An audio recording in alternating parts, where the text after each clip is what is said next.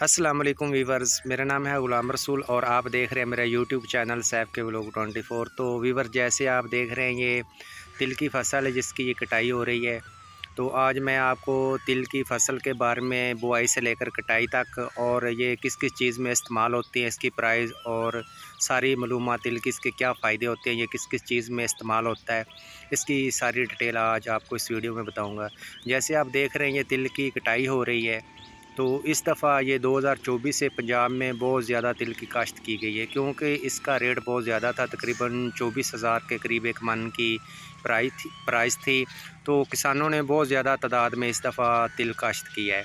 تو اب تل زیادہ کاشت کرنے کی وجہ سے اس کی پرائز بھی بہت گر چکی ہے، تقریباً چودہ سے پندرہ ہزار کے قریب آ چکی ہے۔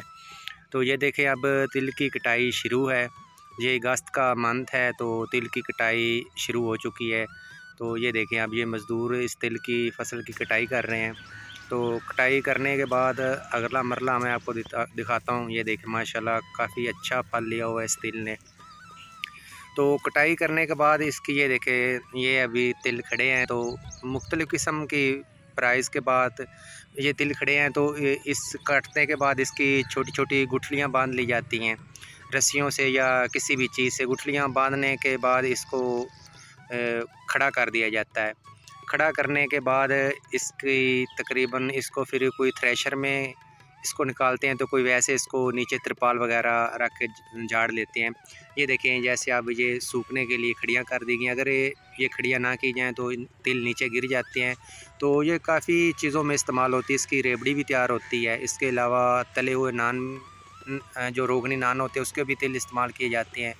تو تل بہت ساری چیزوں میں استعمال ہوتے ہیں۔ اس دفعہ زمینداروں نے بہت زیادہ تعداد میں کاشت کی ہیں، لیکن اب زیادہ تعداد کی وجہ سے اس کا ریٹ بہت کم ہو چکا ہے۔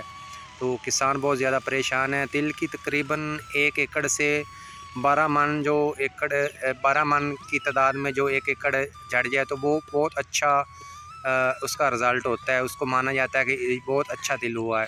یہ زیادہ سے زیادہ تعداد میں بتا رہا ہوں۔ بارہ مون بہت اچھا بہت اچھی تعداد ہے ایک ایکڑ سے۔ تو اگر نارمل تو چھ، سات، آٹھ من تک جاتے ہیں، تو اگر میری ویڈیو اچھی لگے تو میرے کو چینل کو لائک، کامنٹ اور سبسکرائب ضرور کرنا۔ تو اس دفعہ کسان کافی پریشان ہے کیونکہ تل کی قیمت بہت گر چکی ہے۔ یہ دو ہزار چوبیس اگست کا منتھ ہے جیسے آپ دیکھ رہے ہیں یہ اب تل کٹائی کے بعد اس مرلے میں اس طرح یہ کھڑے کر دیے جاتے ہیں، اس کے بعد سوکھنے کے بعد اس کو کسی ترپال وغیرہ کے اوپر اس کو جھاڑ کے صاف اکٹھا کر کے پھر پنکھا وغیرہ یا جالی کے ذریعے اس کو صاف کیا جاتا ہے، اس کے بعد توڑوں میں کسی توڑوں کے اندر بھر کر منڈی میں سیل کر دیا جاتا ہے۔ تو یہ تھی میری اس ویڈیو کی معلومات۔ اگر میری ویڈیو اچھی لگے میرے چینل کو لائک، کامنٹ اور سبسکرائب ضرور کرنا۔ نیکسٹ ٹائم آپ کو ایسی دلچسپ ویڈیو ملتی رہے گی۔ تو ملتی ہیں اس ویڈیو کے بعد۔ Thank you so watching